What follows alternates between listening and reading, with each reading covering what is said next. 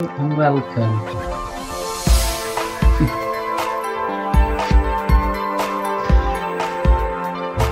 Certainly is, Mr. Charlie Warner. Hello, welcome, good evening. Is that how you said it? Hello, good evening and welcome. and welcome uh, to the uh, Flory Models Thursday night show. Here we are on the 14th of May, uh, 2020. Yes, we all feel a bit pooped today, to be honest. Tired, knackered, whatever you want to call it. Because I was up at the crack of arse, literally.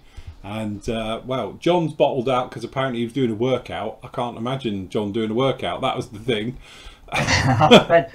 He's doing a yoga workout. Is he doing a yoga? You've got, to, you've got to put the camera on it and record it. I think, we, that's yeah, it should have been quite good. We should have just had him on in the corner, just doing his bit. You know, Yeah. he goes. Oh.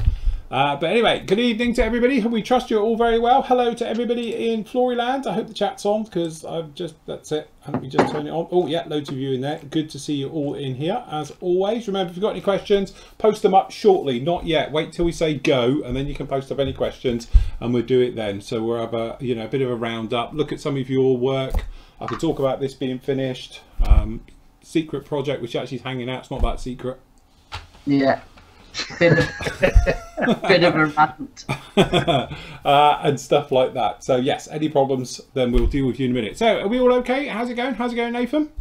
All right, good. Yeah, looking forward to the weekend. What? What are you doing?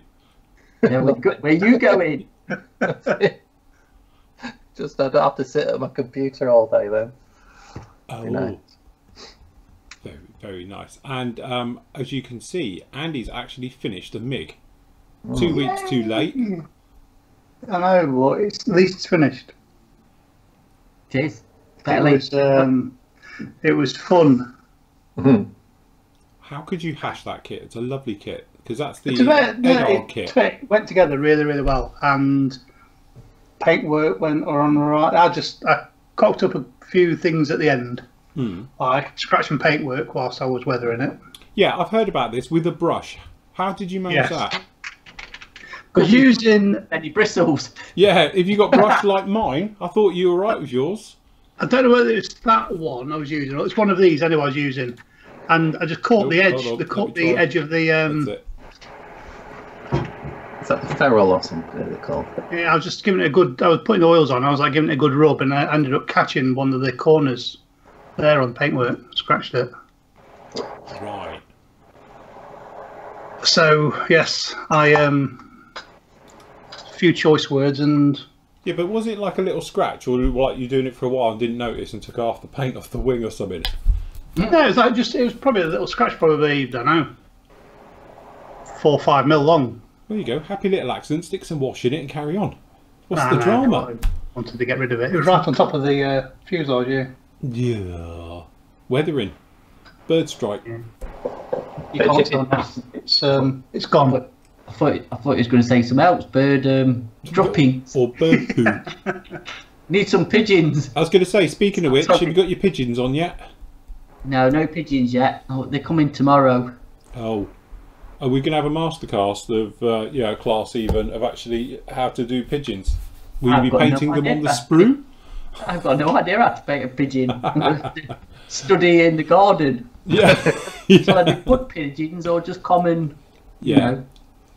Rats with wings. Yeah, exactly. Yeah. So, yeah, no, it's nearly finished. I've got that and another figure to to do to stand near the bike. Hold on. If you're going to do that, I'm going to have to. Hold on. Stay there. Don't move. Ooh. Ooh. just, just There we go.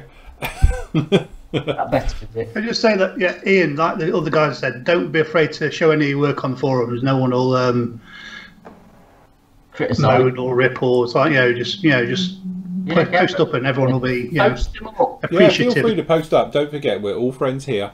That, Yeah. That's the whole point. You know, don't be frightened to post it up. Trust me, if anybody has a go at you, they get thrown out. Simple as that. So, um, you know, obviously, if you spot something in a way of helping a member, like we've always said, constructive criticism is welcome. You know, it's just people just say it's wrong, it's crap, it's awful. You know, then yeah, we don't have any of that. Yeah, colour's wrong. Colour's wrong. Yeah, even if it is the silver or whatever. RLM 83. I don't know, whatever it could be. Yeah, it is. Yeah, we only pick on Andy. He's all right. He don't mind. He's used to it. Used to it, yeah. So yes, but no. Anyway, Matt, how's it going? How's uh, life oh, at PM. Towers? Yeah, good. Been busy again, but yeah, yeah, feeling it tonight. Feel a bit flat, to be honest. Flat. Yeah, no, been yeah, a bit flat today. But uh, no, apart from that, no, I'm all right. Good. Yeah. Very good. Uh, well, as for me, I've been very busy today. I did orders in the morning, and then I've done editing and completed this. Um, yeah, the stick. I don't know. It's got to come up with a witty nickname for it. But yes, it is done. Here it is. It's finished. Da, da, da, flybys and all the rest of it. So it's all completely finished now. To be honest with you, I've got a cunning plan after the show. When it gets dark, I'm going to take it outside, stick it on the flat roof of my carport, and try and photograph it. So, because obviously it'd be dark then. Um, so, but the only thing I'm a bit worried about is the guys know they're actually demolishing the factory next door, um, and they're not really taking any prisoners with it. So it is a little bit of a uh, a mess out there. So we've got debris and bits of crap and all sorts everywhere. So that's it. I think it's a lot more robust than I think. I'm very dubious with it, but I think it would be okay. So, um, but yeah, so anyway, I want to try and photograph this outside. I've done a load of photographs inside and we've done all the video work and I've done the, my end montage for it and all the rest of it. But I just want to get some nice overall shots. Um, so I'll probably be hanging a, a sheet off the washing line else, black sheet, and trying to take it like that. That'll be the next thing. It's just, it's really, really awkward to try and photograph. But anyway, it is done, it is finished. Uh, the next part will be up with you on uh, tomorrow. The final part will be up with you on Monday. So um, that's it, it'll be completed. There's two more parts. The last part is a bit of a marathon one. It's going to be about 45, 50 minutes, I think, by the time the titles are on it. So, uh, but yes, but I must admit, thoroughly enjoyed it. It's quite nice doing sci-fi because you can't go wrong. Literally, you know, you can have as much freedom with it as you like, and that's what I really like about sci-fi. So when you're into that weathering stage and just messing around with it and playing with it, you can go along. If it doesn't look right, just take it off, go again. And but there's no real right or wrong, so you can actually experiment. I think more than normal. So if you're doing an aircraft or an armor, you are sort of governed by reality. Uh, but when you're doing something like this, you can do whatever. You could do one of the pods sky pink if you wanted to, if that was a colour. So are you going to film this um, escapade of photographing it on the flat roof then? And have you pre-booked your appointment to A and E? Uh, no, but I do know know an A and E nurse, so that's handy. Better be home at about half past eight. So yeah, we'll be all right. As I'm up there with it in one hand and taking photos with the other. That's how I did the um, 30 second scale typhoon in flight. I had all of the acrylic rods in the sky like that and was taking photos like it. So uh, and then I did the same thing. I put it on the flat roof on its base with it up and just took photos of it like that. So anyway, it'll be fine. poison. What could go wrong? Hey, I- I bet you was making jet noises as you was flying it round. Well, I don't know. It doesn't make any though, does it? What a typhoon! I Oh no, the typhoon. expecting. Yeah, definitely. oh yeah, absolutely. And when you're carrying it, you have to bank it round the corners and everything. Yeah. But yeah, but no, thoroughly, thoroughly enjoyed it. Um, just obviously, some of the guys obviously watching this probably won't see the videos for it. Um, but um, it's a lot about the weathering, and I show three different techniques that basically do the same thing. It's these panels on here. So one is sprayed. One of them is using neat oils because somebody asked about can you use oil paints for painting. Well, yeah, because that is there. The lighter medium color on here is the uh, just oil paint brushed on, um, and then I use oil washes and then stipple effect with it to give it that sort of really warm look to them. But again, some of these panels are done that way as well. So uh, same thing down the back and a few other places on this one. So anyway, it's going to be all about that. So there's multiple layers of weathering that go into this one. So the next two parts really cover all of that right the way through. Um, and then obviously final reveal at the end. And to be honest, I think it's a fantastic kit. I don't think it's worth 200 quid. But like I said before, the trouble is it's of its scale and its size and obviously its genre. A lot of people probably haven't even heard of it.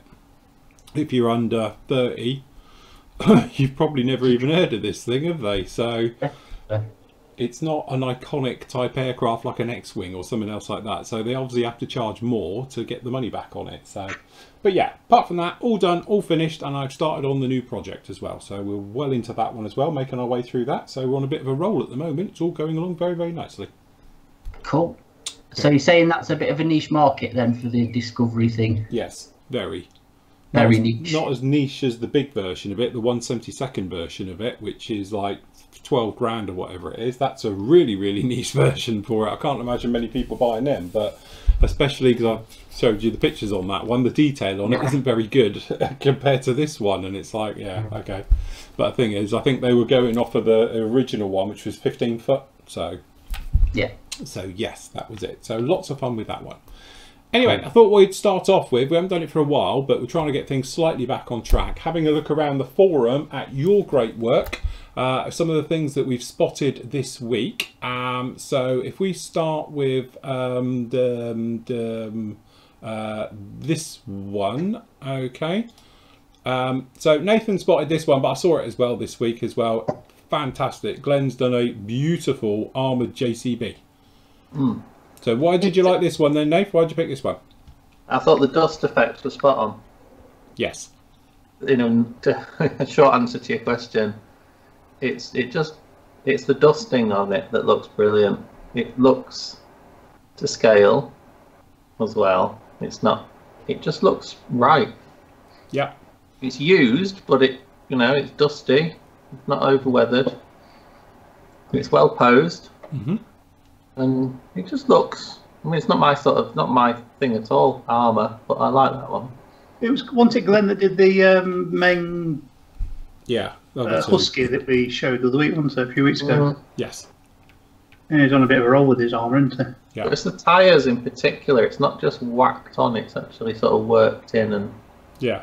I looks think the thing that I like about, you know, to be honest, all of his work's very good, but again, this one uh, shows it as well.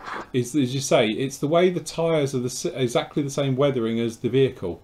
You know, so it looks like it's in there. All too often, you'll see people and they, you know, obviously, you know, different colour pigments on wheels. That's what's on the vehicle, and sometimes it looks quite obvious. Um, but again, with this one, it's a nice sort of masterclass in muted. You know, at the end of the day, that's fully weathered, but it's not in your face. It's not like got huge mud all over it, and it hasn't got like you know chipping or it's worn buckets and stuff. You know, it's worn in the areas that are, but the rest of it is all pretty much just dirt and grime. And let's face it, these things. You know, I know they get a bit of a hard life after a bit of time, but if you were thinking just it's been dropped in theatre and it's around, you know, I don't know, Afghan scooping stuff and all stuff like that, it's that wear and tear it's got. It's very seems to be in keeping. That's what I liked about it. And also, it's cool because it's a JCB that's armoured. What you know, Yeah, yeah. so I know they have them around Nathan's area, don't they? When they're just putting in pipes. yeah. Armored SUVs to put the cable in it. Yeah. Yeah, that's it. Mind you, round our way, they had a load of JCBs, had the fuel tanks slit to get the diesel out, so they could do with them as well. It looks. It just looks real. Hmm, yeah, it does. It's a Yeah, bit of a cliche, but the buckets especially look yes, exactly like you see them. yeah. No, it is. Very nicely done. And to be honest, it's nice photography on it as well because it's Mm. focusing on the item, not in like a diorama or anything else. So all your line is drawn into it. I think the colour works very well with the dark background with the yellow as well. Um, but I tend to find that most sort of modern military in the sort of sand camos and things like that, they work really well on a black background anyway because it shows off the model beautifully. Um, but again, it's very nicely photographed. Yes. Good job indeed. Anyway, hmm. next up we have Rick. Not that he's Oh, biased at all. Has done the Kinetic F104, which is the Japanese starfighter. Yeah. That's a smart scheme, It is. Very into it. isn't it? The Japanese do do some really nice schemes, don't they? Yeah. Just nice. It, Rick's got a style of building, and I like it. That's a good example of Yeah. a nice, clean, tidy, but equally weathered build. It's not, you know, it's just really nice, clean build. Yes, lightly weathered. Lightly weathered. That's the phrase. wonder if it's coincidence that they bought out the Japanese version straight after Meng, sorry, Eduard released the Japanese one, didn't they? Japanese Yeah. boxing. It is, yeah. Again, it'd be interesting to do a proper side by side between obviously that kit and the old Hasegawa one. And I know, like the old Hasegawa one, the great scheme of it is now what twenty five years old. Um, Yeah. So Ace. obviously this is brand new tool. It'd be interesting to see because I've always maintained, and I've built loads of now the Hasegawa ones. You know that they've got really nice detail. They're quite simple in going together. You know, uh, I know this one's got some nice details around obviously the cockpit, electronicsy bits, and things like that as well. Where obviously the Hasegawa one doesn't.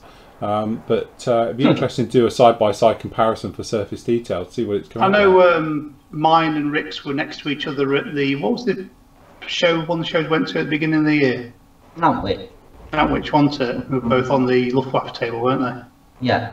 And they were sort of very comparable with each other. Yeah, the There's not a difference. is there? Yeah, like I said, but yeah, the, he's got his open, so you could see the electronics bay behind the cockpit. But yeah, yeah, Yeah. very nice indeed. Okay, so Oh, yeah, go on. no, no, carry on. Oh, sorry. Uh, right, next up, we've got Simon, who's done a very nice intruder, Yeah. which again, having done one very similar, yeah, you got deja vu when you saw this yeah, one. I wonder where he got his inspiration from from this one. And I want to know, is it a tail sitter? That's why he's got his tail hooked down. yeah, Because it is the the way that everybody gets around that problem. Because I've always said, people have said to me when they've built it, are like, you know, that you don't think of um, nose weight because of obviously with uh, the electronics bay in the front. So um, you know, it's like just put the tail hook down because they used to sit there with the tail hook down on land anyway, so it's fine. So yes, Makes for a good prop. Yeah. does. You get lots and lots of pictures with this build, which is nice. yes, very nice. It's another one of these like clean but weathered Yeah, builds. yes, it's definitely cleaner than mine. Even though mine's now got ten years of dust on it. Mm. Was it? It's about seven years now. I did it ago. So It's just a nice build because you get you, you get a really really good look at every angle. yes, very nice indeed. Yeah. can't go wrong with an intruder. No, No. it is a good looking aircraft. The old drumstick. I like it. It has a charm. Hmm. You kind of radar them off. Yeah, but no, very nice job on that one. Good scheme. Great idea. Very nice job. And again, because obviously the only thing he's done is um, used resin seats, which to be honest, it needs because yeah, mine's all stock and it shows. So, but no. that when you built yours, was there? eh? Was there anything out when you built yours? after You could probably use the seats from something else. I can't remember what mark of eject seats in them, but I think there was some around. But for some reason, I just elected to do harnesses and bits and pieces on mine and leave it.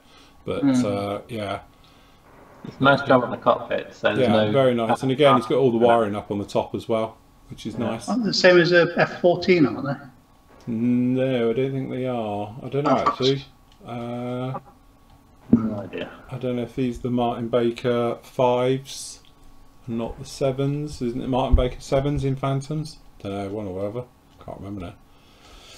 But yeah, Yeah. very nice indeed. Very very cool. Good Yeah. job. Uh, next up, one from me. This is from Ben, and again, it's quite nice because Ben's done a gorgeous F16. Uh, this is obviously the big Tamiya 32nd one, which is a fantastic kit, straight out of the box. But it just goes to show what a good job you can do straight out of the box. You don't need any extras. This kit is fantastic. All he's done is got a set of resin uh, FOD covers, front and rear in, which actually make it. It looks really, really nice. So he's done a beautiful job on this one. Some really nice touches. Good, again, like nice weathering right the way through. It's just sort of normal day-to-day uh, line jet type weathered, nothing fancy, uh, but it's all there, so it gives it that nice sort of you know used look. Uh, and again, he's done it with the engines removable and everything. So beautiful job on the dolly, which is a nice job on there. Iconic kit, that isn't it? It is. It is a really good kit. It's I, you know, I know the Tamiya's brought out some really nice ones, but I still think that's probably their best ever. You know, because it just it hmm. works and it goes together flawlessly, and the attention to detail in the kit's beautiful. Like that with the footprints, though. I thought that was pretty good, though. Did like that. I thought that was a nice one.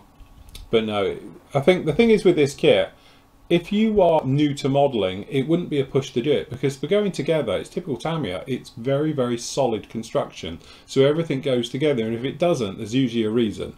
So it's, you know, you just have a bit of a look around and look for it. But the gear's all good and solid with it and all those things which sometimes you sort of struggle with, you know. But it's all very, very nicely done. But it's done a really, really nice job on that one. Like that one.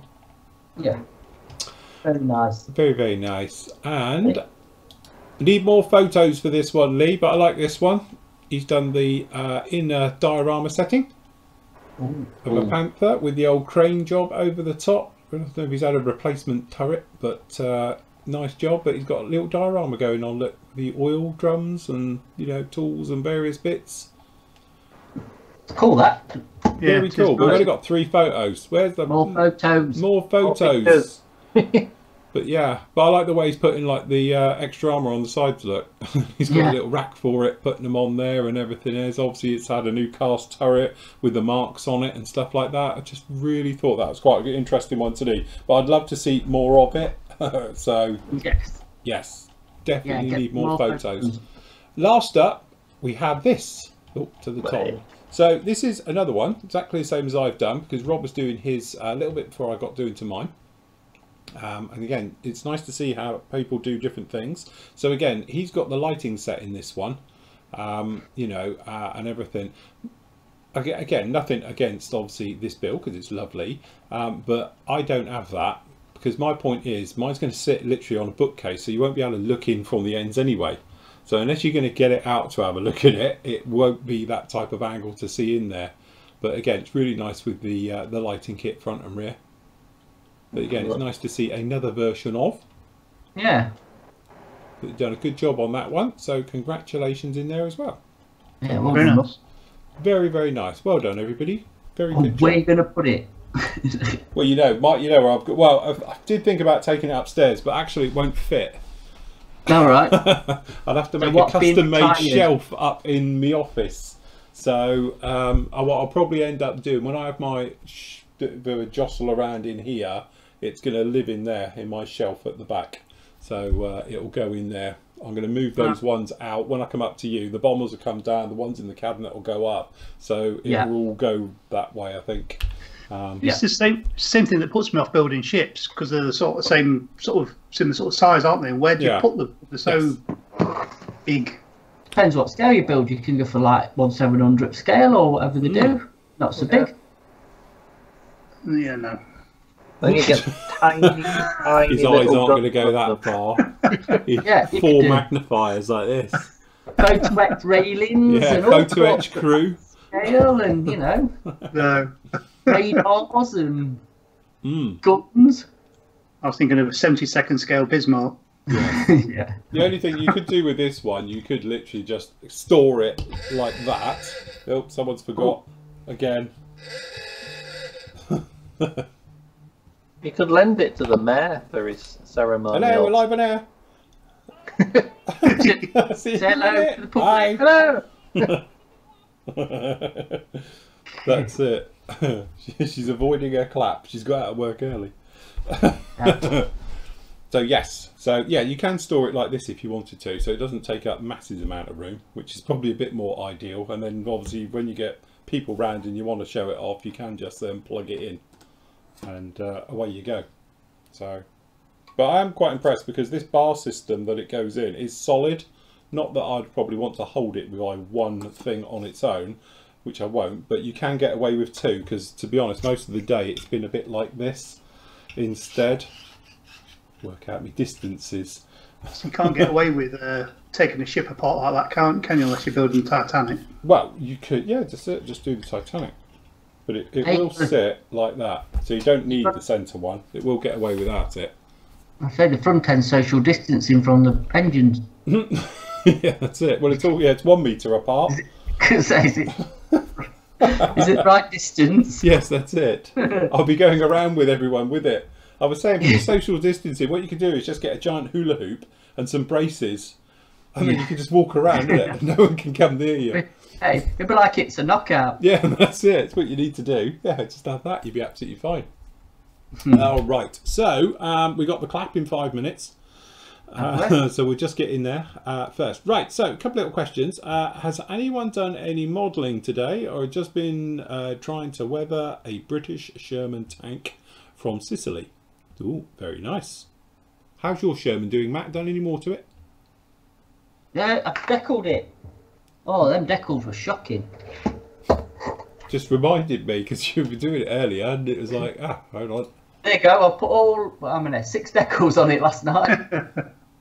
You like that- tanks, don't you? Just because you don't have to decal. Oh, it is, but they're not great decals, if I'm honest. I weren't overly impressed. Right. But they have gone down. I've put a bit of solution on them, and they do seem to have settled. But, but Yeah. yeah, They just kit decals, were they? no, no, they're them. Um, the ones I got from AK. Oh, right. I don't know. They seem a bit thick. I think. Yeah, but they're on and they'll do. So, Hmm. yeah. How long we got? To What? next um, end of the. Is it end Uh, of June? End of June, Ta-da. yes. Jeez, I better We're get going a right to the end of June, so you might be able to just about get in there. Uh, yeah, I've got fingered into doing that behind. The me, me started on the diorama. Yes. Ignore the panther tank, by the way. I was just using that for um, perspective of what I want to, to You've been sitting there on the floor like this. Not quite that. He's got a I'm monocle like this. I'm not that anal. I was just working out how I was going to uh, place the buildings and what else I'm going to do. I think I'm going to have another building that's coming here. I'm going to have that one at that angle, and then one coming round here, Yeah. and then like a semicircle of a pavement type road area. hmm Yeah, I don't know. We'll, we will see. I was looking for another building today, but I'm, I don't know. I might have to either build one out of foam or yeah, to for what I want. We'll see. We'll see. Anyway. Very nice. Yeah. Um, uh, hold on. Uh, where are I? Just saw one. Great review of the IBG 172nd Scammell film. Very nice. Yes. Hold on. I should be de- showing it. In my excitement of also doing it yesterday didn't help. Sorry. Review of that's up today. if you haven't seen it, fantastic, beautiful, amazing. Yeah. I can't Yeah. say any more than I said in the review. Really, it is that good. I'm, I'm totally, totally impressed. You know, it's just I'm amazed these days what they can do with 172nd scale. You know, from a moulding point of view and just the engineering that goes into kits like that. Because can you imagine that like 20 years ago? It'd have been God. like you know six wheels, a one-piece sort of chassis thing, or like, and that would have been it. But, no glass. no glass. Yeah, that's it. It just would have been horrible.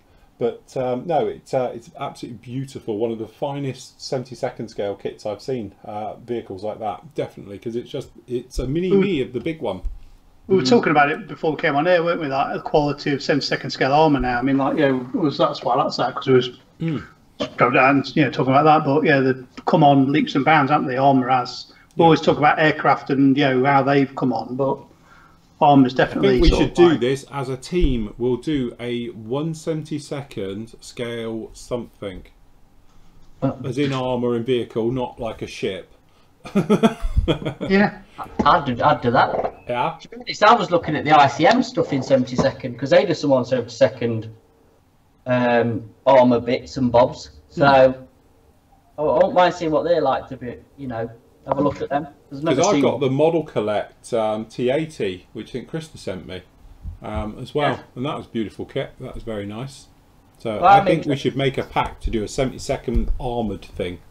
Yeah, can put it on a smaller base than I've got. They're, they're a bit more compact, aren't they? Yeah, But it. I'm interested to see how that Scammell stacks up against the Airfix version Hmm. Because they also do the um, artillery. Clap time. To what? Is it clap time? That time. well, that's why that would be outside. Don't we clap really coach? Yeah. Bravo. bravo, bravo, man. Bravo, bravo. Top job. Well done, everyone. All doing a fantastic job. Well, crikey, they're proper in the spirit out, out in front here today. Are they in the party? Must That's be. it. We must be like the Grinch household because Tams is normally working and I'm in here on a Thursday, so it's like they just Yeah. think, look at that house there in darkness. Yes, well done, everybody. yes, well done, everybody. Congratulations. doing a great job. Everyone's doing well. We're coming out the other side, hopefully. Ish. Um, so yeah, I think uh, that could be something for later on in the year. Why don't we all grab a 70 second scale, bit of armour, and we'll give it a whirl. We could, We don't wanna- we could do it later on in the year, can't we? Hmm. I'd have try it for turkey shoot. Yeah, turkey shoot, something like that for later in the year. Yeah, I mean, I don't think we'll actually get it built over a weekend now because they're a bit more complex. But I was going to say, yeah, if you were off- doing that, you'd be a bit longer. yeah, but yeah, turkey shoot might not be a bad chat for it. Definitely. Uh, question. I'm returning to the hobby after many years. Uh, I'd like to try some weathering with AK weathering pencils. Uh, when should I use them? Before the first clear coat uh, or after the last clear coat? Okay, um, well, we've all got the pencils. Anyone use them? Still, no. I, I, you know what? No, we've all got them, but none of us have used them. I am going to try them on this. Yeah. Be honest, when I when I get round to weathering and stuff, I will try them on that and and see if I like them or not. I think, you know, the thing is with them, me just grab a few here, which is a good point. Where are my weathering pencils? I've lost a load of them somewhere. Oh, they're on a flat coat and a gloss coat because I can't see how So, you're going to stick to Yeah, I, I've used them a couple of times. It's not my style of weathering because I don't do a lot of armor. I think really, if you're an armor guy uh, or something else like that, that's really where this would come into its own because you can do the very nice, delicate effects like rain marks, uh, grime, and that type of thing, which you could do with getting right in there and putting it on. You could probably do it on sci-fi, to be honest. Didn't think about it with this thing. Um, but again, it's one of those ones where I think you need to uh, practice it. You know, get used to it, understand how it works. It's no different from my weathering wash or using oil washes or pigments or anything. It's you know, you need to play with it, experiment with it, find out what works and doesn't. And to be honest, I probably haven't given it a fair shout yet. Um, you know, but I've given it the couple of times I did. I gave it a little go when we did the uh, Buk missile system, um, and again, it's one of those ones where it's very subtle. That's my point. You know, if you want nice subtle effects, then yeah, these are great for it. But if you want, you know, sort of big marks, you might as well just go with oils. Uh, and do it that way. Um, Kev, our mate, who does a lot of armour, he swears by them. He loves them. He uses them all the time. But I think from using point of view, I would use them over a flat coat. You need something for them to catch onto. So a bit like when I did this, um, I put a flat coat right the way over this entire thing, like a dead flat coat mixed with white paint, just to sort of knock it back a bit. And then we did some more oil work, and obviously the oil work sticks a lot more, and it gets caught in that texture. Um, and it probably gave a better effect, if I'm honest, when I was doing that later stages weathering. So that's really when you want to use things like these as well, purely just so it's got grip. You know, you can actually put it where you want it, and it doesn't wipe away so easy, and it goes on quite smoothly as well. So yeah, but yes, Yeah, definitely. we'll have to give them a bit- like I say, a bit of a, a Hmm. fair trial and use them in anger. Like I say, I'm gonna have to do a bit of research properly how to use them. 'cause I don't know. If I'm honest, I've never tried anything like that before. So yeah.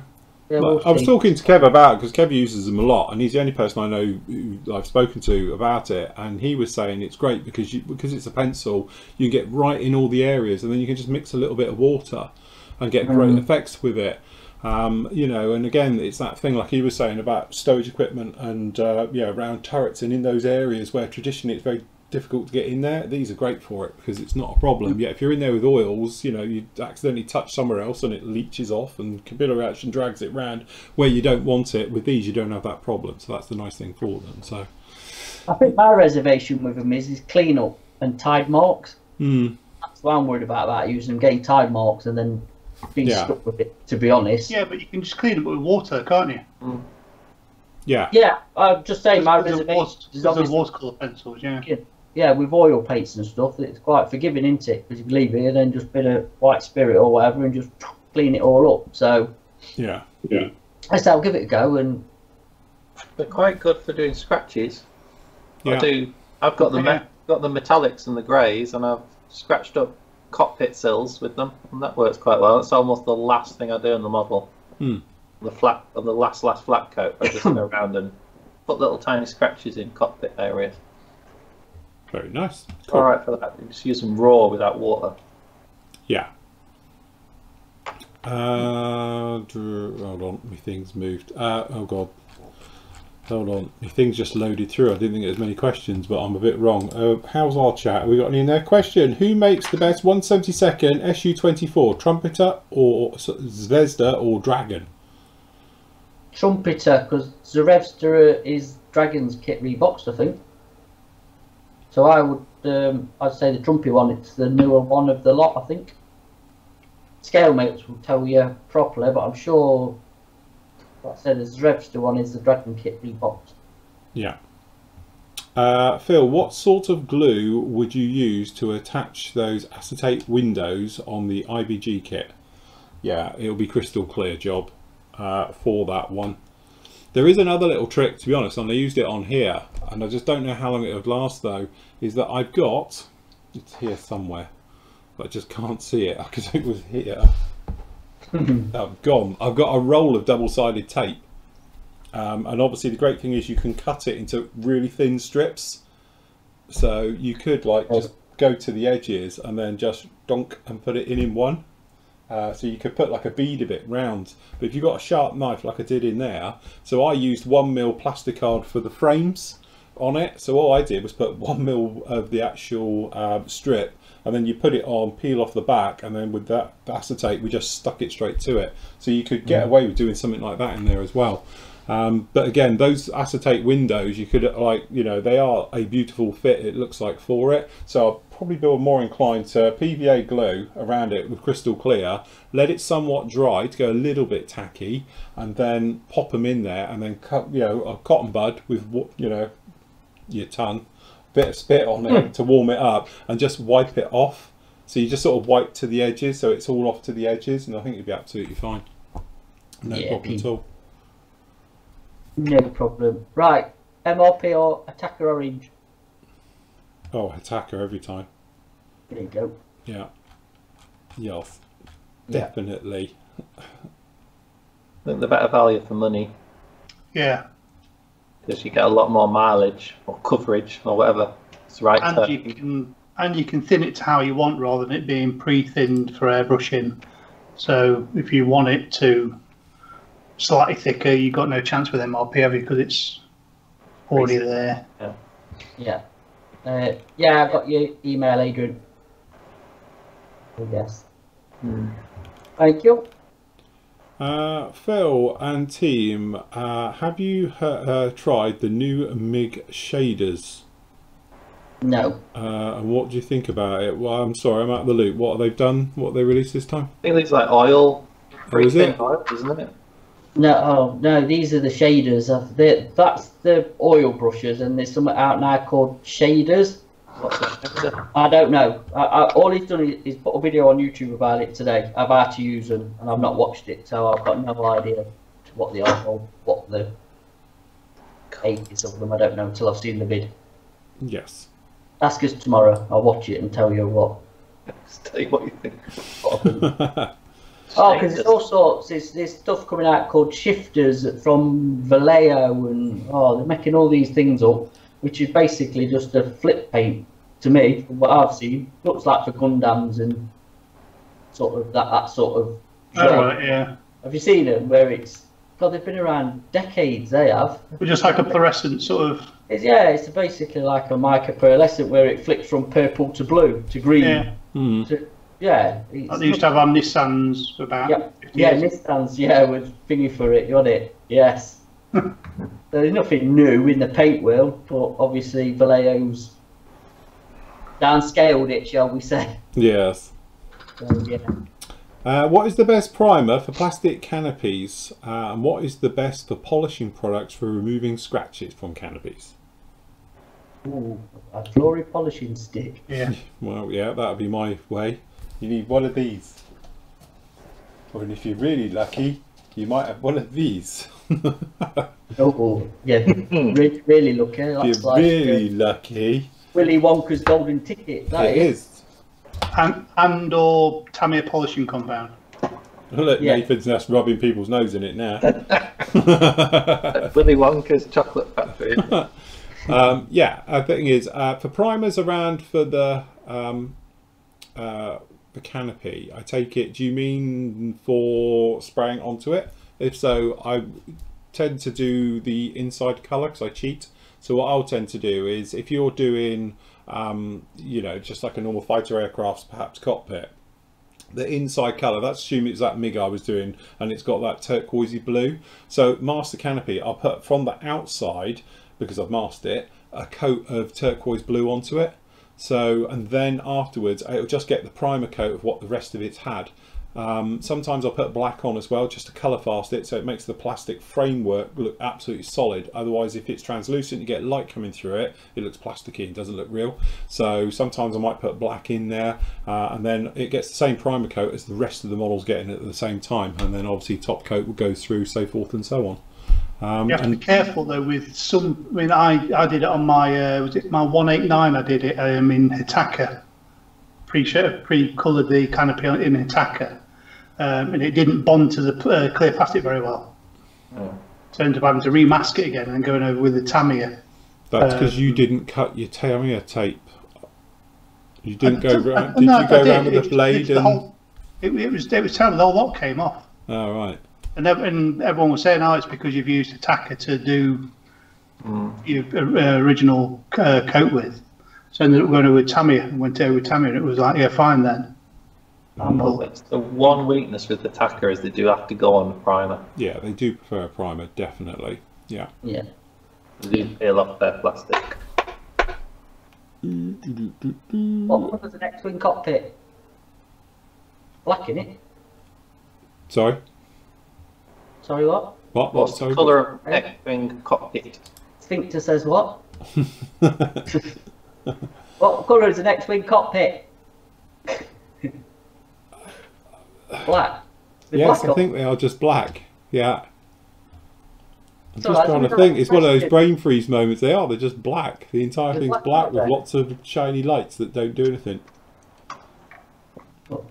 They're doing Luke's head. uh, don't know, Roger, because he's just asking about the Hataka blue line when we, we ain't got any yet because we've got them. And Hataka, have, as far as I know, only just reopened, so we've, um, it might be a, a while. Well, you know, a Uh. How did you go about painting raised detail on a 132nd instrument panel? I'm finding it a challenge. Two options. One, buy a colour photo etch one and sand it off. That's always, that's my preferred route, especially if you've got bezels and colours and stuff like that. But yeah, you can go through. I technically dry brush if that's the case. If I've got to do an instrument panel, it's got raised detail, I'll dry brush it. So you start off with its base colour, assume it's black, okay, and then literally dry brush right over it with a very light grey uh, to go through. And then if you're doing bezels and things uh, that are coloured on the outside, so some of them obviously like they're yellow and then go into red or they've got green on them, you can actually use my usual ways to use a cocktail stick just into a little bit of paint and then just from the inside you just rub it slightly to the outside uh, and you get that effect around them and stuff like that. And then it's just a case of going in with detail painting tiny brushes and things and picking out switches and those types of things. To be honest those pens that I used all on here the Posca pens they're great for that because you literally just like switch switch switch red switch green switch blue switch and you can just do all your de- details and do it that way so it's pretty straightforward It's funny, do you know, I was just saying about that. Um, you know, I was on about the weathering pencils. Hmm. Seen people use them as well for doing dials and stuff. You know, to Yeah, So there's loads of ways, isn't there? Uh, question: When you mask up, how do you stop getting ridges on the masked line? You can't. You're always going to get a ridge. You're always going to get a ridge. You're going to have to have something because obviously by its nature of how it is, what I normally do if you've got something is just lightly sand it. Yeah. If You just want to blend it down. As I say, to be honest, I usually use a weathering stick or you know the polisher, but on the green side and just give it a rub and it would be fine because it's not enough to take the paint off, but you will just just get that rid of that edge, or you won't get rid of it because obviously it's a step in paint, but you can just you know get rid of a, an edge off of it uh, and fade them in a little bit. And obviously the more paint you put on, the bigger the step will be. So if you're sort of like frugal with your paints or like you're not flooding it and putting too much on, you won't get Yeah. as much of a step, will you? No. No, no, that's cool. And, and obviously, I think your paintings as well. Yeah. But the flip side to that is you don't want it too thin because then it can track under your Go masking tape and Yeah. then you've defeated the object really. So is a fine line, but always spray away from the masking, not into it. Yes. And also as well, when you're spraying anything and if you've got masking tape, don't put down a really wet coat, especially to start with. Tamiya Yeah. tape's got that blocking technology, I think, built into it. So as soon as it, it gets a bit moist, it will seal up. But if you go in and Yeah. flood it straight away, it, it's going to be no use. It will just go straight under it and it will bleed through. But normally, I always put down a nice little, just a quick dusty coat over it and go off elsewhere, and then that way it will seal it and it stops you getting creep underneath and stuff like that. Yeah. Yeah. Uh, question for the car builders. I'm going to build my first car, uh, building 30 plus years, uh, the Tamiya Lexus uh, LFA. The wheels and the kit are like aluminium colour, uh, uh, the wheels should be gloss brass. Is that even a colour? Uh, and the rib edges and the spokes are aluminium. Any idea how to mask the edges after painting the main part black? Fine line tape. Very fine line tape. I tell you what, Or get yourself one of these. If you haven't got, Yeah. get one of them, and then it goes down to 0.4 mil. So, yeah. It's it's a fiddly job whichever way you look at it. I was going to say the thing is, I don't. There's no quick way to that, is it? No, that's It's the, no. You can't brush it or anything. No. You just you've got to sit there and mask them up and then paint them and then remask them and paint them and and go through the motions of doing it. It's a yeah. You've got your Panel work, job. you got your work cut, but they look stunning when they've done. They look really good. But yeah, there's no shortcut. I'm afraid on how to do it. yeah. I think that's the thing. Sometimes you literally have one option, and that's it for those types of things. Yeah. He meant black, not brass. So sorry. Yeah. I think the spelling error. so, uh, question: Aside from Tamiya and Val, are there any other kit makers that also make a line of paints under their own brand name? I think there is, isn't there? There, most of them, Italeri. Italeri do it. Oh, Italy, yeah, yeah. I've got Oh, it here. Yeah, Don't see them so often, though, do you? Testors. They still make kits. Uh, I don't know actually. to be honest with you. Um, There's Airfix and Humbrol sister brands. AK. yeah.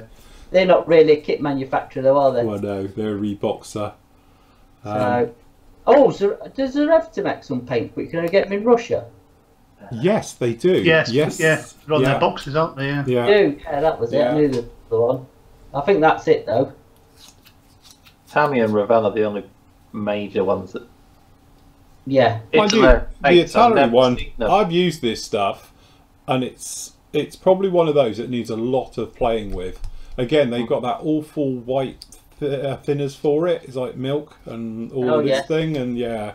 But if you want your money's worth, it is because this stuff's like toothpaste. It would actually give model uh, model color a run for its money. It's proper thick stuff. So, just can't get over it, though. but yeah, Never seen it on sale, yeah. No, well, what they said was because it comes out of the same place of Tamiya, they're not going to run two paint lines because it will clash and they sell t- tons of Tamiya. So why? Hmm. Which, I, in a funny way, though, I don't understand because that's a proper acrylic. Hmm. Where obviously the other ones are hybrid alcohol-based acrylic, so it wouldn't technically clash because it's not the same paint; it's completely different. Yeah. But I don't know. I'm not the importer, so I don't make them decisions. Perhaps it's just another headache of putting labels on for the staff in the warehouse. Yeah, like- some poor schmuck's got to sit in the warehouse. Oh, yeah, that is just the worst job ever. Sorry, Yeah, you can get Italy paints. You can get black. I say probably get them off Amazon and stuff. But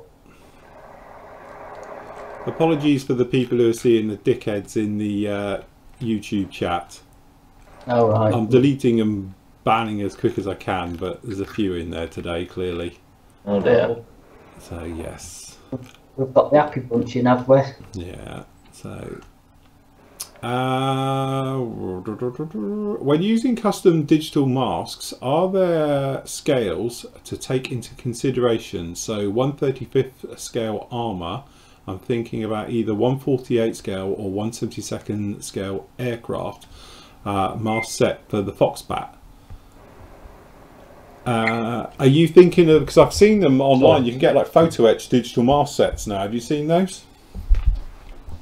No. Yeah, somebody's released someone somewhere, and it's literally just a square of digital ones, uh, and the rest of it. But you know, again, it's all very well, but it's like a square of it. So it's like if you're trying to get that. That's that the That six sounds back. yeah, I don't know. That's the whole point. I can't understand how you. The only thing I did think, what you could do in the hindsight side of it, is actually put down a bit of 40mm Tamiya tape, put this thing over it, and use it as a template.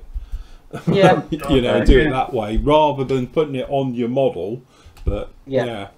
yeah. Um, so yes, uh, but no, uh, you know, technically, if you're thinking of the actual mask sets that you buy, then obviously you'll just buy for that particular whichever one you're doing. If you're doing a 48 scale Foxbat, I would just get. Uh, I think somebody actually does do it. Didn't somebody do a digital mask set for it? Might be Pop. Pop, Pop that do the Hmm. they've Yeah. got anchors and all that. Because Nathan's an expert on that after doing his flanker. Yeah, Hmm. it's a piece of vinyl all oh, that's crazy that was blimey. I mean you can get them for big uns as well, can't you? Hmm. Like these pre-cut mass things. I think you have to get some for that aircraft otherwise. Yeah, if you want to get the one for the aircraft, I think it'd be a lot easier. Say, I've got a uh, Czech digital camera for a MiG 21. I could have done that and I'd still be painting it. At Christmas. Um, Mike's just asked me a question. If you brush paint with Vallejo model colour, uh, do you thin it with an owl? And if so, how much? I've just thin it with water. In the, in the wet palette, um, Do you add any retard or anything to it? Or no, because the wet palette keeps it wet, damp. So, no, not really. what about surface tension or anything? Is it? Never have any problem with it, to be honest. Because on about how much do you thin it, and it's, I mean, look, sort of look, the state of our wet palette. It's a bit, bit of a mess, but um, you want it. It's it's again, if you're using a dry palette to a wet palette, it's different. If that makes sense, your your paint thinness on a wet palette, if you, it's about the right consistency when it pulls back in on itself you know, when you brush it out onto the actual um, paper that the, the paint's sitting on with your paintbrush, it'll it'll draw back in on itself, and that's about the right consistency. I'll have to do a, a, a demo. I'm going to remake a wet palette, and I'll sh- I'll do What are you going to do when uh, Liddy goes back to school wants the sandwich box? Yeah, let's give the kids the sandwiches back. I'll give it a wash. Might need a rinse. Yeah, she'll be fine. Just a quick question on Alf uh, chat. One of the guys asked, is the uh, Tamiya 48 Spitfire canopy mask pre-cut? No, it's not. None of the Tamiya do pre-cut masks. No. Yes, none of them do it. Um, I've got one here. Uh, I'm new to the hobby and love your material and have learned a lot from them. At the moment, I mostly use Revell Aqua paints in my airbrush. What is your experience with them? Funny enough, this does come up quite a bit, and we say they're fantastic for hand painting.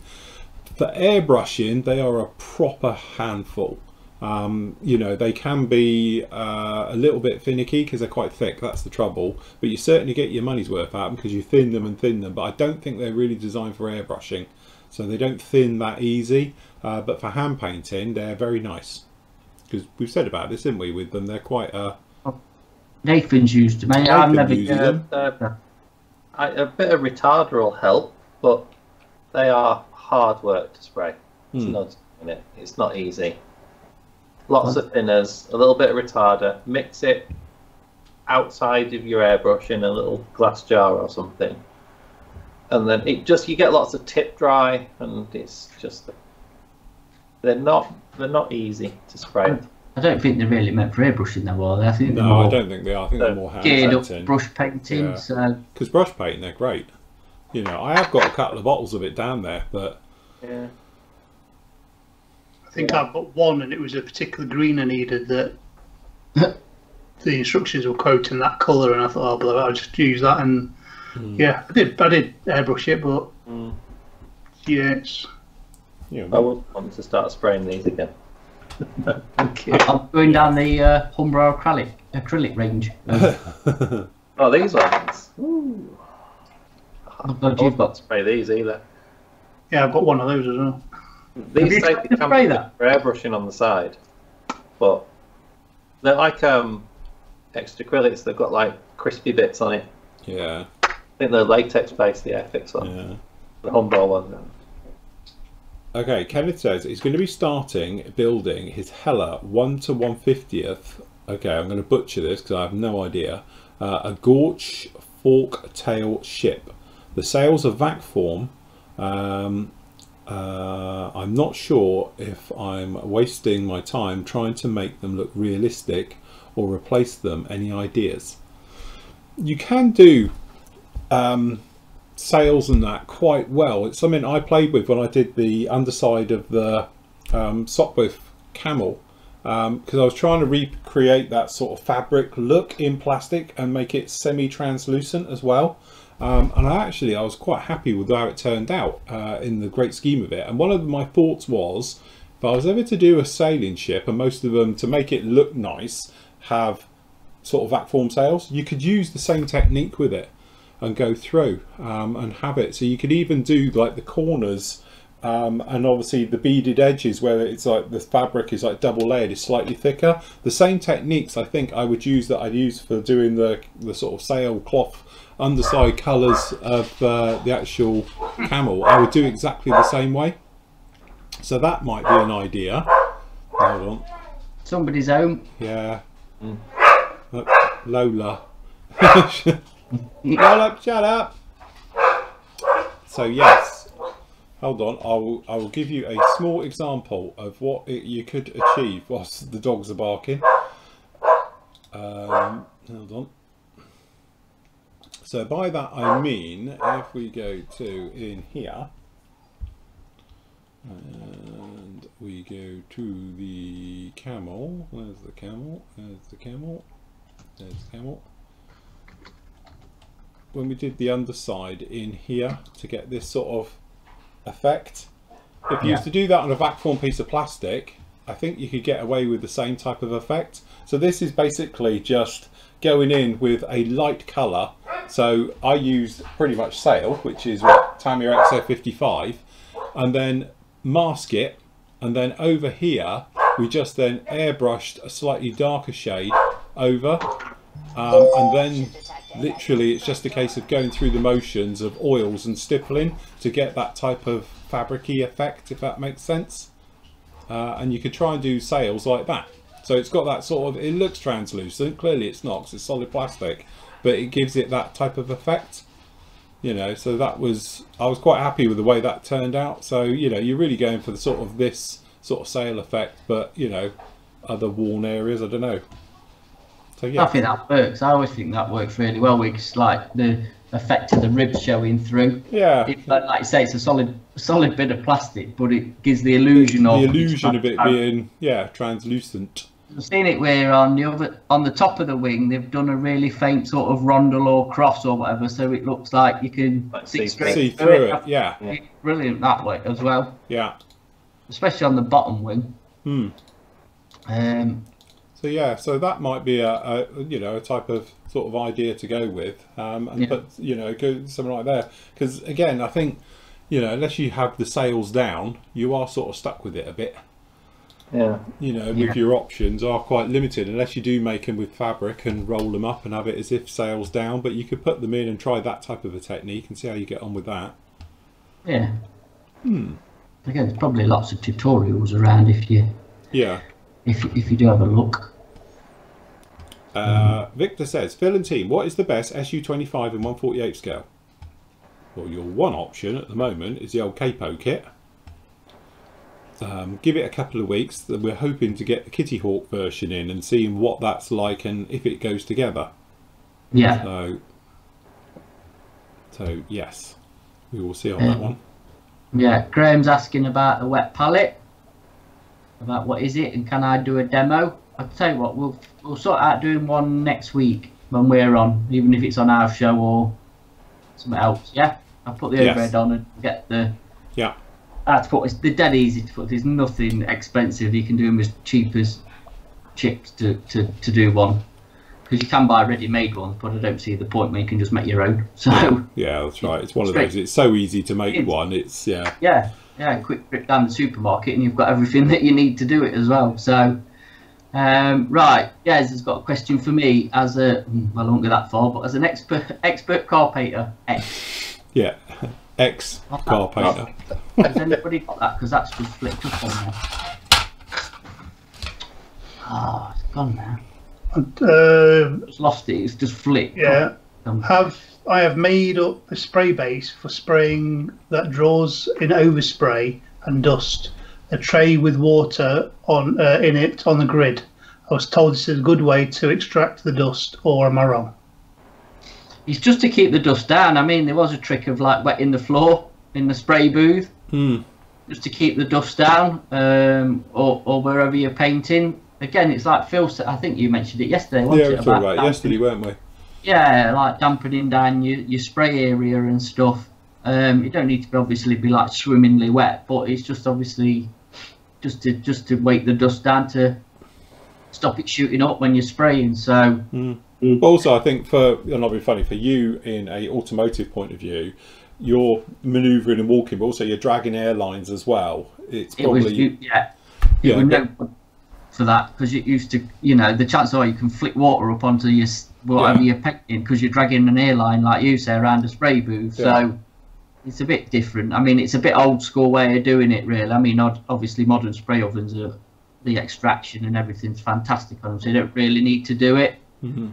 Um, again i think as long as you've got a clean area that you're spraying in your airbrush is clean and you know like the stuff we went through yesterday I think you'll be fine. And again, any bits that in it you can flat out anyway. It's don't don't panic about it. You can flat them out and repolish it or repaint it if needs be. I've done it. I did it with the art. God knows how many times I've painted the roof on the blooming Lamborghini.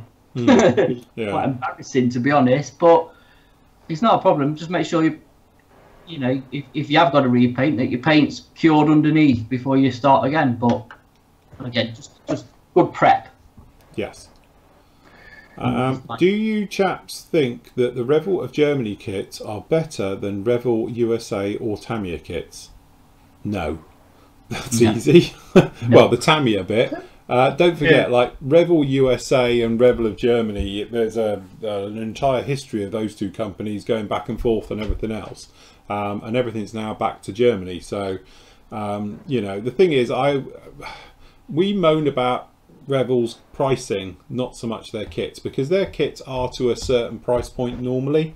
Um, and usually they do some quite interesting subjects that other people don't do, big stuff as well. Um, so like the HE111 in 32nd actually wasn't a bad kit, um, you know, but Nathan's been going through it a lot recently with the Tornado. You just have to allow for their injection molding isn't as sharp as other manufacturers, the Tamiyas of this world and people like that. So you are going to get flash. But that's the reason why that kit is probably a quarter of the cost it would be if Tamiya released it. You know, so there is obviously a little bit of give and take with it. But I quite like their kits. They they do release some good stuff, and also they do rebox a lot of good kits. So Were Just- most of the um, Revell American uh, Revell USA kits the, mon- the monogram kits? yes, Yeah. yeah. Then they were separate. Then they were separate. separate Then they had their own yeah. design. Um, Yeah, then they did they did the um, they did the 40th F18F, didn't they? Which wasn't too bad, better than the E because the E was a bit of a clunky one. Once it was the E that was a clunky one, and the, the F which wasn't too bad. And then what was the uh, Helldiver? Was it that they released? That was quite decent as well. They have Did some decent they did do some good stuff as well, but I think obviously Revell USA they had a more active market with the NASCARs and touring Yeah. carring type things. That's what their bread and butter of their business was. Um, as I say, when I had my run in with them years ago, I had well very long chats into the night with their CEO uh, about it and everything. And he was explaining obviously the differences and things like that, and he's a very interesting guy to talk to. Um, but yes. Uh, How, how hot is uh, do you have your water for deckling? I just have mine tepid. Mm. Straight out of the kettle. No, don't do that because you'll melt your decals. They'll stretch. No, uh, uh, no hotter than a. Oh, it's, di- it's you not get your elbow in it and test it. Yeah. Back of Yeah. the wrist. Your cup of tea when it's ready to drink. Yeah. About that hot. Like I always say with them, I often talk about it when I'm doing it. Like I say, if you have it too hot, what can happen is, and I've had it happen to me as well, the decals physically stretch, and then as they cool, they go out of out of whack. So I've had roundels which are no longer roundels; they're ovals uh, going on planes where they've gone out of shape. Uh, and the thing is, if it's cold, what can happen then is that as it's releasing from the carrier film, certain areas don't give, and then they crack and they split. So if you ever have the situation where your decal falls apart and shatters, that can be because it's going into cold water. So the decal is very brittle because it's in cold. So in some ways, the warm water softens the decal and helps it come away as well. So I know Phil was joking, but probably the baby bath water probably not a bad yeah, 38 temperature, degrees. really, is it? Mm. Yes, anywhere between 34 and 38 degrees would be fine. God, People yeah. be buying thermometers now. The thing is, a lot of us use. I don't. I must admit. I know you guys do though. They get a, um, a coffee pot warmer, isn't it? A m- coffee mug warmer, uh, and obviously you just put your decal water onto it, so it keeps the decal water warmer longer. I, I think that's a great idea. I, Like this, just a flask and keep Mm. topping your decal water. up. Yeah. Oh yeah, coffee warmer's a brilliant idea. But the coffee warmer, you got your mug warmer, and you put your, your mug on it. You just instead of putting your mug on it, put your decal water on it, and it'll keep it warm. Yeah. So There's a question for Nathan. Just got the new uh, 108 out of quarantine pile. Would Uh-huh. these have been used through the war or only early 40 to 43? No real info could find unusually. Uh, I don't know if it's the same person that asked on the forum. There are some Chris. 108s that were in the, the Luftwaffe have got loss records things that are destroyed, lost, shot down, whatever. Yeah. And there are a couple, like a few 108s destroyed in 1945. But one or two, a few Yeah. there. Now, don't ask me what units or markings, because all I did is I, s- I Yeah, skimmed well. through just looking for aircraft types. But a 108D, one. According to Wikipedia, Mm. the 108 was retired in 1945. Yeah, with the rest of the German Air Force. yeah, I was, Hey, I was going to say If- that. That was quite common at that point. And if not, it flips South America.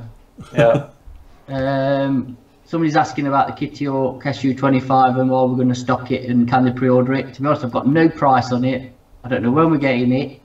Yeah. we will get them because I'm curious to see what it's like, and obviously Phil wants to do a review, so we will be getting it in. But I've got no information on anything about that kit at the minute. So you just have to bear with us until it comes in, Yeah. Uh, which will be fun. Somebody's saying about the what Jez had asked about about the tray attracting dust. Can't see how it. I just think it means like to keep the dust down. Just I know, obviously, in big factories, especially when they're doing powder coating and stuff like that, they have waterfalls, don't they? Yeah. Yeah. Uh, and Well, they they spray spray against them, so they the, basically it catches it and drags it down. Uh, so it's Yeah. just the circulation of water, um, and that's just because it, it's a it's a better way of doing it than extracting air.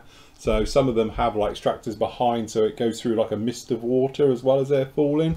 But that I think is just supposed to be more of a clean-up thing. But that's more, I think, the heavy-duty industrial painting uh, Yeah. way of doing it than anything we do in the hobby.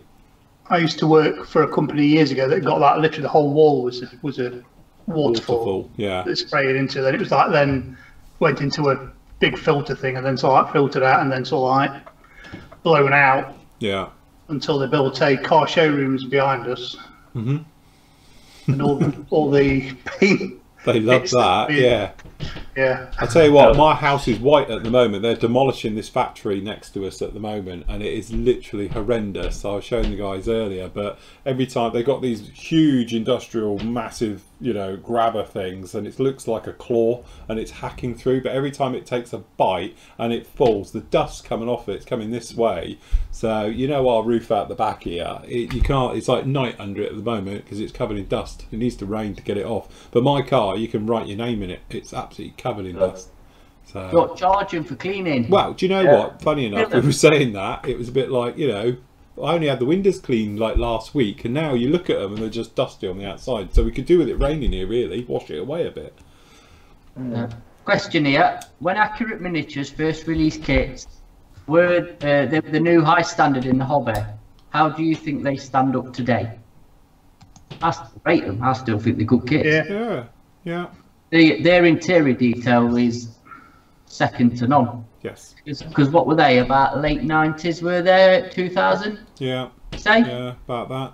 and say their interior detail uh, definitely stands up to today. I think that's why where they came. It was the big jump was their detail because we hadn't seen like it was always aftermarket, wasn't it? And like Yeah. they were covered, so you know that's your, your kit, and it's like wow, look at the detail in that. That's like a proper like having mm-hmm. aftermarket built in. So Yeah, well, I'd say like their Dauntless, the Helldiver. Obviously, their B25 is, I think, the only one in that scale anyway. But Yeah.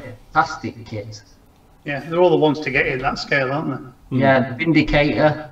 That's another one, if you can get hold of that. I mean, I think um, they've been re-released. Italeri's re-released a few, and Academy have mm. re-released the Dauntless, I think, and the Vindicator. They're worth grabbing. I think they're worth having. Wasn't uh, Eduard's. Oh, Yeah. What was it? Yeah, I built it. Oh, Edard did the yak, didn't they? What about the. Uh... So, how was it? Yeah, the Dauntless, didn't they? they that was um, Accurate Miniatures one as well, wasn't it? Yes, it was. Yeah, it weren't the Azagal one, was it? Because Azagal, no, it was the accurate miniatures one. Yeah, there's um, uh, yeah, I still, I still think they're good kits. Like I say, if you can get hold of their Helldiver, I'd get it because that is a fantastic kit. Oh, and they did an Avenger, didn't they? That was it. yeah, That's the one I've had The to get. US Navy torpedoes. Mm. Yeah. yeah. Yeah. yeah. Uh, Yeah. Is there any pearlescent shader for modern jet canopies? Not that I'm aware of. Yeah. You can get aftermarket ones, which have got that pearlescent look to them, but even that I don't think sometimes looks real. Um, it's it's too faint, if that makes sense. I've got one here somewhere. Roger, yeah, Roger, Roger's just put up. I see Airfix are bringing out. Oh god, it- Top Gun uh, stuff. some fun stuff. Is it to do with our film? No, it's to cash in on the film that was coming out, whenever it is. And they're, and they're the old Airfix kits as well. They're Yeah, not it's new, the really old stuff. really, yeah, from the 80s. So yeah, this is it. It's one for a stealth, but you can see it, looks quite good. But if you notice, it's on the bit you're going to paint. The clear part itself isn't that. On, we'll get it out. Just why before it flicked off. Yeah, Jez, it will be absolutely fine. That primer surfacer with your uh, Hyro Boy and lacquer paint, so we're perfect for that. So, but if you get my point, it's like if you catch it in the light like that, that's just because it's off of one of my lights. But generally, you wouldn't see it. That's my point. It's all very well this texture, but this is all going to be painted black, but you wouldn't see it. I don't think you'd actually notice it. You know? That's that's my only point to these ones. As I say, they do do them all. So there you go. Take your pick. As I say, these are all the 30 second, but they do do the A10, 48th, and the 48th for the Hornets. Uh, yeah. So yeah. So that's those ones. AFV. It's a Hab Blast 2 system, but yeah. I must admit, I have used one, and you'd never know it's on it. So I haven't got that kit anymore, but yes, it's a bit uh, weird on that one. So, I personally, I think you're better off if you wanted to to just give it a tint, like a smoke type tint, and that will give the effect of again trying to get it re- replicate it. I know the one you're probably thinking about is something like on a Raptor, the F22 has that gold tint. So, And F16s have it on the first part of the canopies, but I don't know. It's very, very difficult to try and recreate it unless you've got one that's got that goldy sort of colour done already. And some of them do do it. We've done it with mine with the F16, things like that, where you get two canopies. So one of them's tinted, one of them isn't. So it might be a way. But as far as I know, I don't think there's a paint you could do it with, is there, Matt? Not that I know of.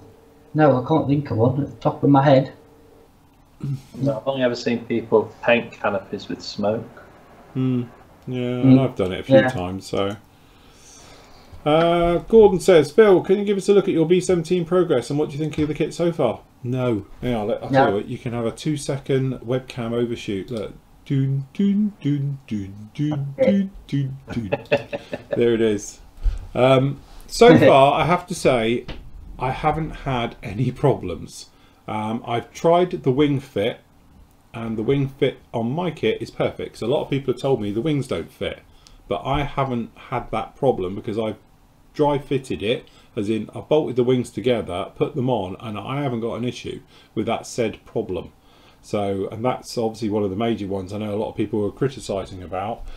The other thing as well is that, uh, you know, and I'm not saying it is because I'm not quite there yet, but a lot of people have said about once you get all the interior into it, getting the halves together and stuff like that, that's no different from a wing nuts wings kit and I've had it before where if you overpaint the parts and then you put them in without cleaning off the edges to get them in there that microns of paint turns into gaps. And I've had it happen to wing nut wings kits. You know when I did the Sopwith triplane that was my fault because I painted the framework and the insides of it. When it came together and I put them in I had a gap. And it was like nobody else had a gap. Uh, but I did and it's because I didn't glue the parts in. I just put them in and it sandwiched and it held itself. If I'd used glue, it probably would have melted a bit and melted through the paint and made a proper join. But yeah, so I think that may be some of the issues in there. But so far, no problem at all. As I say, it's just about to go into paint tomorrow. We'll get the paint, uh, the inside will be painted up tomorrow. So that's the plan with that one. Mm. So we will see how it goes. But so far, I have to say, no problems. Uh, Alpha Mike Sierra says, guys, what is your technique for painting engine exhausts on different shades on metal, like the ones you'd find on a MiG-29? Uh, normally I start with the base colour, so I'll usually go in there, if it's going to be doing that heaty bluey look and all the rest of it, normally something just like a like a stainless steel, so it's got a blue hue to it already, uh, and then you're just going to then be building up with other shades of metals.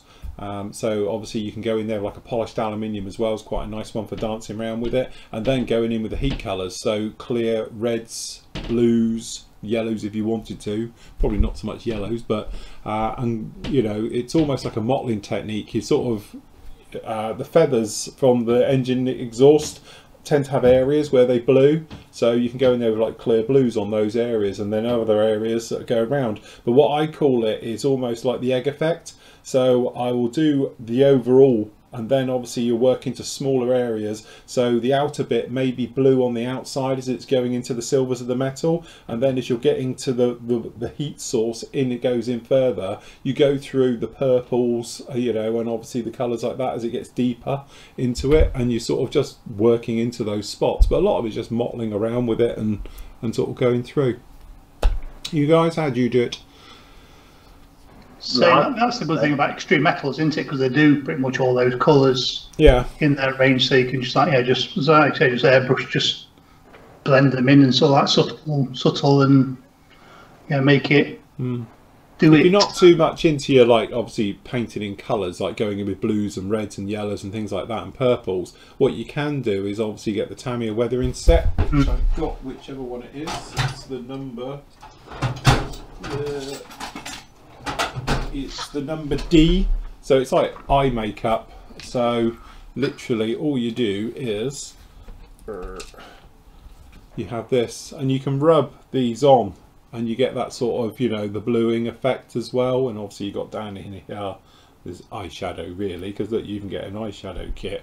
But it's literally just going in and you just go along with it and you can put the blues in and the different colors and you've got the heat exhausts and the various things uh, and do it that way so that's another safer alternative if you didn't want to if you don't trust your airbrushing and things like that and going with those There you go. Safe way of doing it. it is Yeah.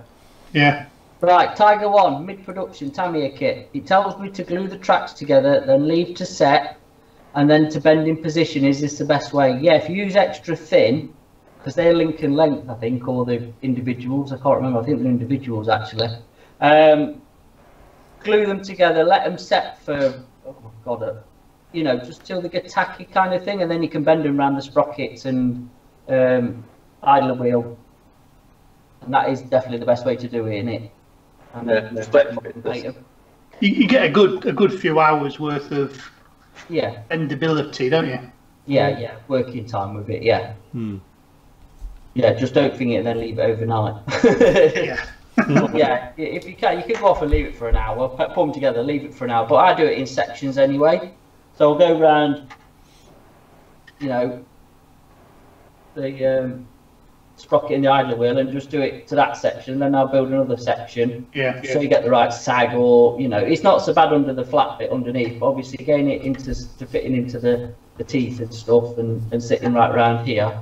Um, yeah, just do it in sections and then join it up. Be fun. Talk to Phil, he loves doing individual track links. Yeah, I love tracks. Yeah. Phil and team, uh, airbrushing question. Have you tried the following two airbrushes? The Paasche Talon uh, and the Badger 360 Universal? No, not that I'm aware of.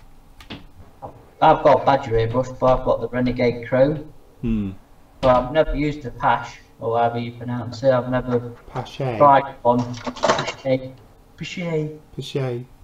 I've got, Yeah. Maybe neither. got a Badger 150. And That's- harder and Steenbeck, and that's it. I'm saying I've got a Revell airbrush that's actually a Badger airbrush, but Hmm. Actually, my Renegade Chrome's alright. Proper chunky thing. It's um, it's a nice airbrush to be honest. So I might have done because I've used loads of airbrush because everyone comes here brings their airbrush normally and Yeah. normally they've got a problem with it or something as it happens so I end up having to go with them. But uh, as I say I, I don't own any of those put it that way. Um, but you know the thing is we often get this question and it's it's one of those things where airbrushes are like cars. If you've been brought up driving a Ford you'll probably be a Ford driver forevermore, you know, because you're used to it, you know it's reliable, blah, blah, blah, and that's what you do, okay? So, and you just stick with it. And it's one of those things, memory, you know, action, holding an airbrush and everything else. So to switch out to a different manufacturer is usually something most people don't tend to do unless they're really struggling. And that's often what I say as well. When people struggle with airbrushing, I often say, have you tried another airbrush? Because it may be just you don't get on with that airbrush. You know, you have another go at another one and you do. But at the end of the day, they all just atomize paint. They all do exactly the same thing. So it is literally what works for you. As long as you're happy with it and it's doing what you do, there's no such thing. And it doesn't matter if you spend 50 quid on an airbrush or 500 quid on an airbrush. If it works for you, perfect. So, question: Have Have you ever uh, enjoyed making a kit so much that when you've finished, you've gone out and built another one? I'm not talking about commissions, just enjoyment. I've not, to be honest, because once I've built, excuse me, built that subject, I want to try another subject. So no, I can't, I've never done it. Any of you three? No. Not straight away. No, not as I say. I've I've built models like when I was younger. Funny that when I did like my mini aircraft carrier Dio. So you know, I built a couple of models and thought, oh, I'll get a couple more of those. I enjoyed doing those and had made a little squadron and things. But uh, as an adult and doing it properly, I've never done it. I've built kits before for commissions, and then I bought the kit for myself afterwards with that thought of I'll build that again one day because it was a great kit for me, Yeah. and then never have. So, yeah. The only thing I suppose I've ever done like it, funny enough, because it is Intruder Day, when I built that Intruder, I bought another one with the thought of actually doing another one, but this time I want to do it as if it's ready on the catapult to go. So a little diorama about this big with it sat with the wings down with the bomb load on it with some retarded Mark 82s uh, and do those. And I've always had that in my mind's eye. I'd like to do that again. So I think that's probably as close as I've come to doing it. Never done it, but I have got the kit and an idea to do it at some point. I've got a few duplicates in the stash because I think I, I wouldn't mind building two or you know at, at some stage, um, and I've got like multiples of the same type of aircraft like F-18s or F4s and things. Um, but I've never really sort of like purposely gone out and bought a kit because I thought, oh yeah, it's fantastic. Hmm. I do sometimes see other people's builds and think, well, that looks fantastic, so I'll go and buy the kit. Yeah, but you're admit- actually if you built a kit, you Yeah, I know, yeah. and then you do another one straight after of the same kit. Did he say buy or build? Build, Yeah. not buy, build. No. I'll usually have a gap, like I've built lots of these. But I wouldn't go finish this and then jump straight onto another one. Although I've got another one and another one. Promise I've always got it in my mind what I'm going to build, sort of like two or three kits in advance. So, sort of like it's trying to get a kit built so then I can start on the next one. Yeah, so I never, never really have, even like my schedule's not like Phil's schedules, yeah, where he's asked to do it, you know, for the for the show. Uh, Mine's sort of like, you know, but I still know what I want to build because it's mainly group builds or SIGs or things like that. Yeah, I'm doing it That's for. it. So, Our, our, our build schedule's planned out for us, isn't it? yeah, Yeah, for the Yeah. whole year, yeah. Yeah, because we choose it. we choose it at the end of the year before, don't we? What we're Or we're building for the Luftwaffe SIG or one of the SIGs, so it is Yeah. kind of mapped out what we, you know, what we're going to build. So yeah, it's um, quite nice, really, because you don't have to think about it in a funny way. You have to think, think about the subject, but the the Yeah. genre's already done for you in a way, isn't it? If you know what I mean. yeah. I mean, now I finish these two. It's going to be finishing off the Kfir. Yeah. Once the Kfir's done, it's then two six two for the bulge to Berlin Mm. Sig, and then Which will then go for the Luftwaffe SIG when we're up And then it'd be again. Christmas. And then it'll be well, Christmas. it'll be Christmas. Yeah, Yeah. Uh, twenty right, twenty five. Question: Does anybody do a T- TSR two now?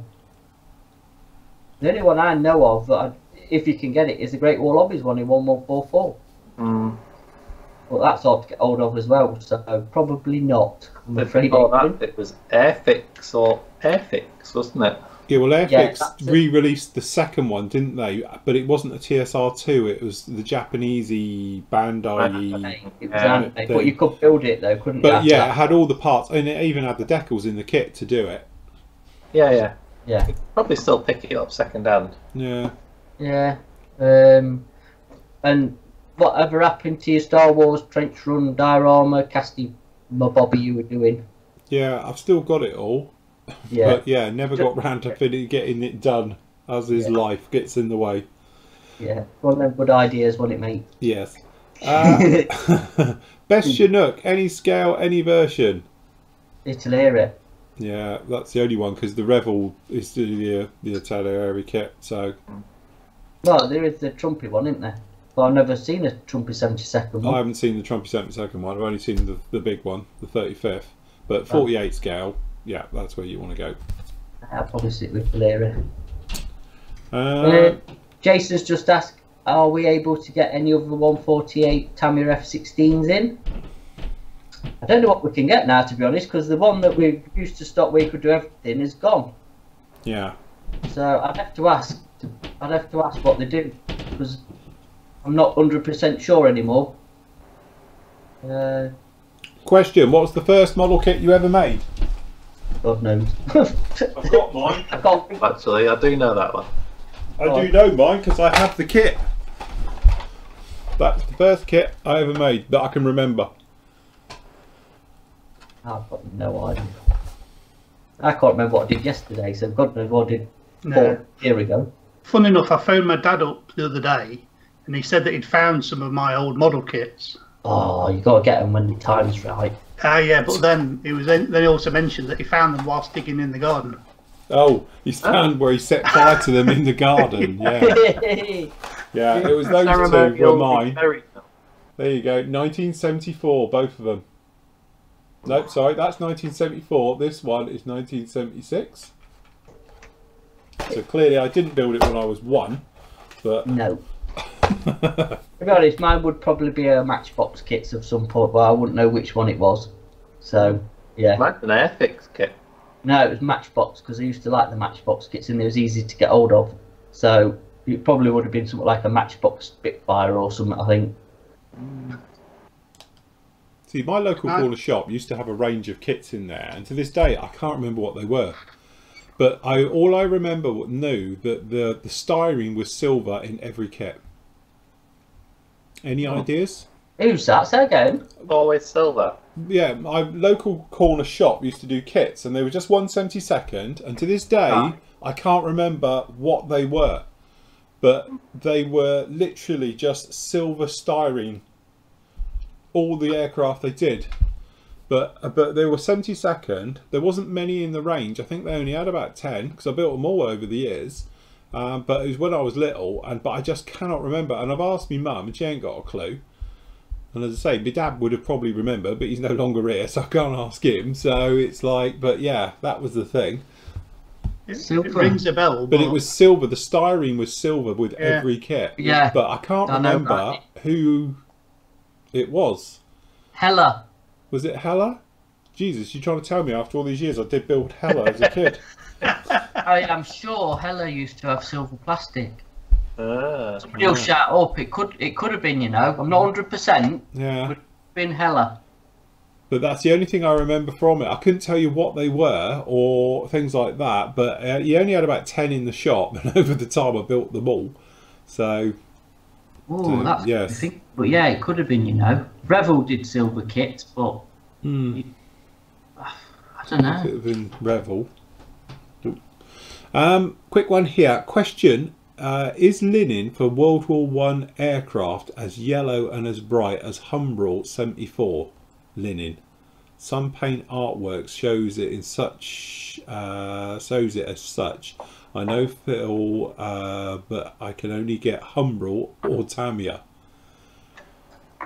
Well, to be honest, if it's the only ones you can get, you might as well go with it. Don't forget, if you think it's a little bit strong, just lighten it up a little bit. Mm. You know, because it doesn't matter if you're using Humbrol paints, you can still lighten them as we do with everything else. So don't worry about it, don't sweat it. Nathan's got a large collection of old paints he's now swimming through, the rust and junk. Just um, going back to your kit that was silver plastic, because people are shouting up, but I think you'd know if it was like an air kit, wouldn't you? You'd remember, wouldn't you? It just, I tell you what makes me throw back to it being Heller. You know how you just built that Trojan? Yeah. It was the silver plastic, wasn't it? Yes, it was, yes. Yeah. And I think Yeah. the, some of their other kits were in silver plastic, if I remember. Hmm, don't know. Because Heller by then wouldn't have been sort of something that would have, would have, they would have been quite newish, I think, with to Yeah. the UK. Because you wouldn't as a Hasegawa or any of the other brands from then. So, I don't know. Interesting. It wouldn't be Novo, would it? Well, the old Frog Novo ones. Might have Hmm. been. Might have been actually. I don't think it'd been Heller. I think I would have remembered Heller, but there you go. Yeah, there's the Frog Novo ones, but Yeah. I don't know. Ooh, that's Can I got, just re- quickly reply to Adrian? yeah. It says, is this a photographic background? It's fair. I got the idea from a film years ago. It's the It's just a, um, it's just a window blind. But it's great because it, it goes out the way. That's why I like doing it that way. Yeah. It See, doesn't get covered in crap and all the junk. See, Martin's backed me up. He remembers that Heller Kit's being silver. Hmm. Ooh, don't know. Back to this linen colour. Yeah. Humbrol 74 does look really yellow. I'd be Oh, tempted to do a Humbrol 103 or green. Here we are. Well. No, that's 71. What's 71, Nathan? 71. Yeah, I've got uh-huh. Roll 71. Oh, I've got 74 as well. Here we go. 74 looks way too yellow on this colour chart. There you go. Yeah. That's Humbrol 74 on the tin. Look. I'd be tempted to use maybe the pale stone or a cream colour from the Humbrol range. Yeah. I mean, linen's like all sorts of different colours, isn't it? Hey, look what I've found. Oh, here we go. God, he's going through his paint collection. paint stone. Right, CompuColor, clear dope linen. Oh, there you go. Not you will ever find this paint. I was going to say oh. that's not currently available in the shops. Yeah, but I'm It's just probably got lead in it. That stuff. Yeah. Oh, it's fine. I tell you what, it's very yellow. Hold on, let me just put my overhead on. Compared to Humbrol 70, hold on. There's a, yeah, I've got a bit running down the side of the tin as you do. I'm surprised the actual lid. Am I on? Yeah, hold on. Let me on Right, big okay. Hold on. That's that's 74, and this is Oh, hold on. Where is he? There he is. Yeah. Yeah, so you can see like the top, I bet it's knocking on a bit. But then you look at the side, It's bright yellow, isn't it? there's not a lot in it, is there? Compared to the, if you went off that top, you'd be a bit disappointed if that was what you got inside. I was always wanted to push that away to a much paler colour. I think it should be. They do look a bit yellow. Uh, more know. of a stone colour. I'm thinking more. If you whacked a load of white in it, you'd get about the right colour, wouldn't you? Yeah. 70 what? 71 did you say? Because that's 71, Yeah, that's a better colour to me, which my is a mind. bit. I think I'd go 50 mix with white and see what you end up with. Like you said, I want before before off stone. Yeah. Again, again, don't be frightened to mix colours. Mm. You know, Yeah. you, if you, in your heart, I always say that, especially from a modeller's point of view, the great thing is, is that if it doesn't look right to you, you can then just mix it and change it to make it to what feels right for you. And that's what we're getting back to that thing about modelling as a hobby. It's your hobby. You paint it what you want to do. So if you think that's too yellow, then you know you might want to cut it with something else or go down a different route. Oh my Look god! afraid. Look at him going back through history. Airfix number nine. M number nine. It's like a paint museum. It is. They're gonna have run out there. Unless you want Airfix number four. I have to actually paint a kit in these just to just to see if they still work. It's, I, I, think, I'd- you should. Don't Yeah. stick it through your nice new airbrush I've just done for you though. Use them when you other crappy things. I will. I'll use one of the crap ones. hey, where's my chart? I do, actually, I've got an Airfix chart here.